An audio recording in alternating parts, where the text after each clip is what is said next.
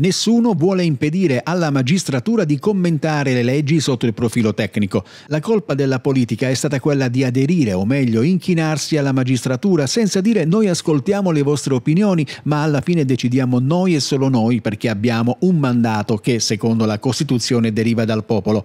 Lo afferma Carlo Nordio, ministro della Giustizia, in un'intervista al quotidiano Libero. In merito ai casi Sant'Anché, Del Mastro e La Russa, il Guardasigilli spiega che si tratta di fatti tra loro indipendenti e mi rifiuto di pensare a dei magistrati che vogliono interferire nell'azione governativa attraverso azioni giudiziarie. Non si può però negare che ogni volta che si sia provato a fare una riforma della giustizia è sempre stata bloccata con interventi giudiziari. Infine Nordio respinge le accuse dell'ANM alla Presidente del Consiglio Giorgia Meloni di voler delegittimare la magistratura. Queste reazioni di voler delegittimare i magistrati quando si criticano alcune loro iniziative è quasi una reazione automatica da parte dell'associazione. Nel mio mondo ideale, afferma il ministro, i magistrati non dovrebbero criticare le leggi e i politici non dovrebbero criticare le sentenze.